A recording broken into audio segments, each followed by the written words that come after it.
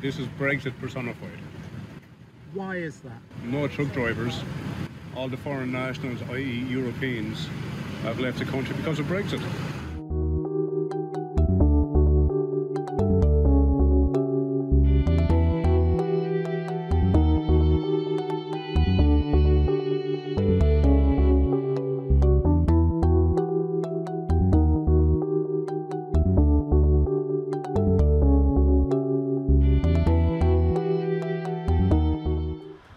Äh, hier in äh, England die Situation ist eigentlich ganz schlecht.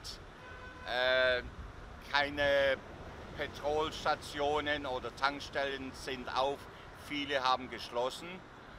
Und äh, da müssen wir mal warten, was die Regierung da tut.